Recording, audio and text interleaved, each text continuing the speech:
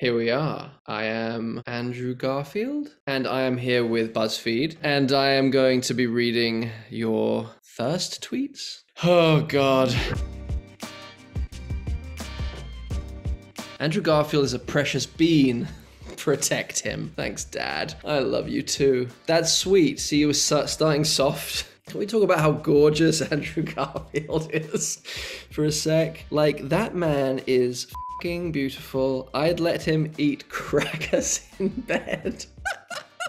that was a journey. I mean, the first part is just like incredibly flattering and um, as misguided as it is. And then the crackers in bed thing is, I guess, because crackers are messy. Thank you so much. It's very, very kind. I wouldn't let myself eat crackers in bed because I slightly OCD when it comes to cleanliness in bed. Oh God, I'm gonna move on. Andrew Garfield, if you see this on your secret Twitter account, I'm free this weekend if you want to get lunch or drinks or something, and just let me know.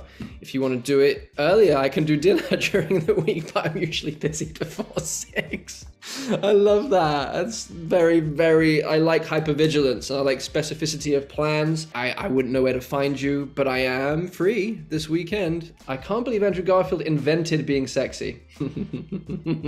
I find it hard to believe to the point of knowing that it's not true. Who was it that invented being sexy? Like, when was sexy invented? I guess consciously. It would have to be a human, although I'm sure before humans existed in the cosmos and on Earth, there were there are there are forms of life that. Did anyone else think about the oct- my octopus teacher being a little like oddly sexy? Not sexy, but like I know I noticed like on online there are people that were like, I love that film by the way, and I didn't find it sexy. It was someone else that thought that there was. Some, I just read one thing online, something sexy happening between the octopus and um, the man. Why did I agree to this? I can't believe I lived through shave Andrew Garfield, long hair Andrew Garfield, mustache Andrew Garfield, and now blonde Andrew Garfield. He really gave it all to us.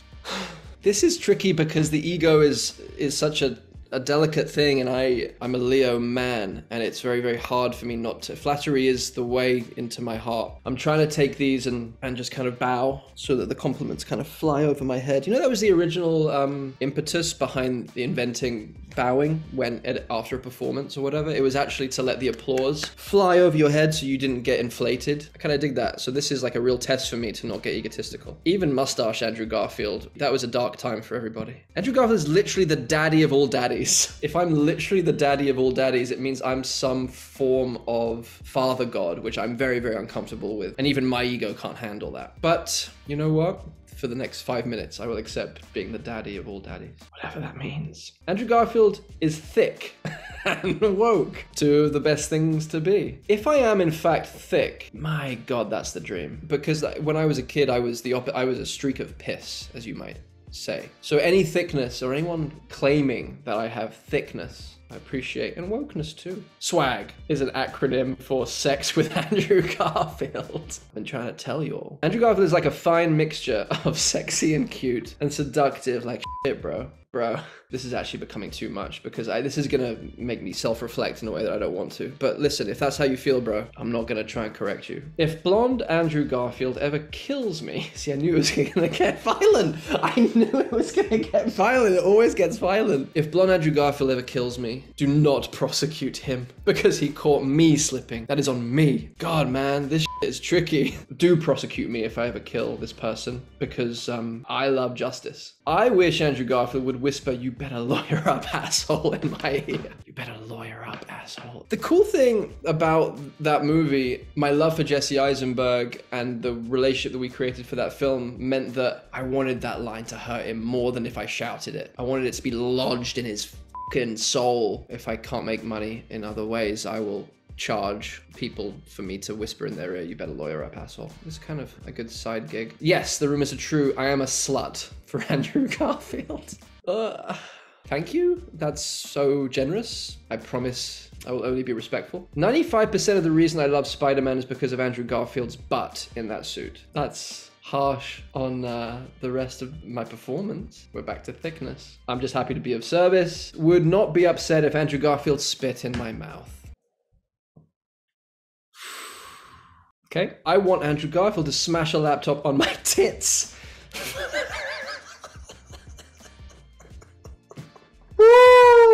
good. I'm not gonna do that. I draw the line. Nope. Like this is like pro tip and also like boundaries. Like if anyone says I want to smash a laptop on your breasts, just say get out of my house. Andrew Garfield's spandex clad buttocks should be legally obliged to appear in all superhero movies from now on.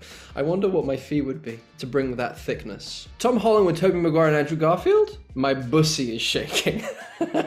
oh, the bussy. Bussy shaking is, um, we know where that leads. And uh, I'm afraid it may be shaking in vain. Thank you for these thirst tweets. This was really fun and slightly disturbing and uh, occasionally arousing, so thank you. There's a movie and it's called Mainstream, and my friend Gia Coppola wrote and directed it. And it's with Maya Hawke, who is wonderful. And it's with Nat Wolff, who is my boyfriend. And I got to do some really crazy stuff. I hope you guys watch and enjoy. Much love. Thank you.